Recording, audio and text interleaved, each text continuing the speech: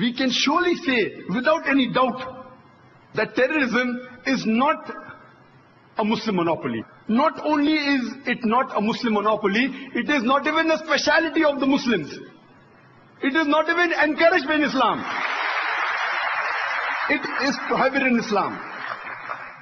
I, being a student of comparative religion, I cannot say that all the religions say that you should not kill innocent human beings. But I can surely say that most of the religions, the majority of the religions, if you read the scriptures, they say that you should not kill innocent human beings. And the leader of all these religions is Islam.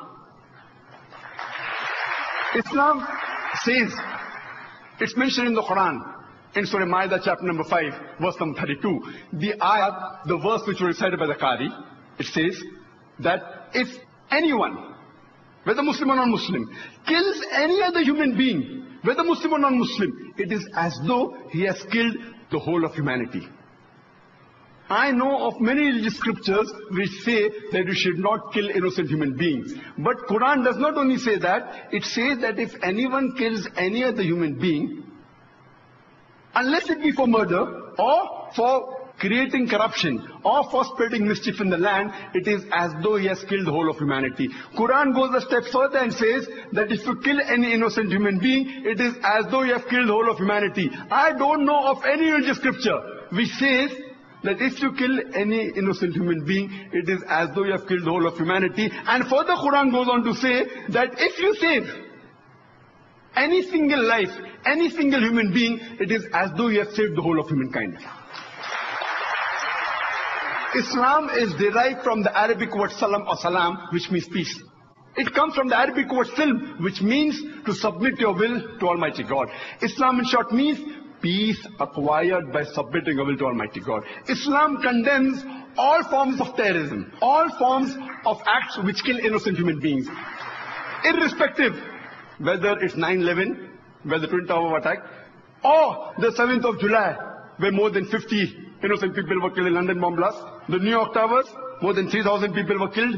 In the London bomb blast, more than 50 were killed. Or whether it be the serial bomb blast in 93 of Bombay, where more than 250 people were killed. Or the bomb blast that took place recently on the 11th of July 2006, where more than 200 people were killed, are to be condemned. It is prohibited. You cannot justify killing of any innocent human being. Many Muslims, many a times, to appease the government, they put a full stop there. I never put a full stop here. I continue and say, we also have to condemn the thousands of Afghanis that have been killed in Afghanistan, the thousands of innocent people that have been killed in Iraq, the thousands of people that are killed in Gujarat, the thousands of people killed in Palestine, thousands of people killed in Lebanon. We can't put a full stop. Who are you afraid of? All sorts of terrorism in which innocent human beings are killed have to be condemned, whether done by Muslims or non-Muslims.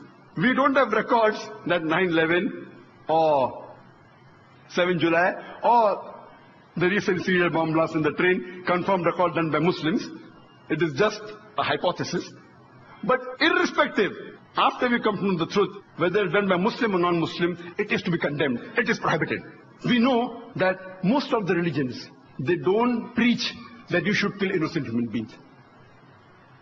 Terrorism is not the monopoly of any religion. It is not.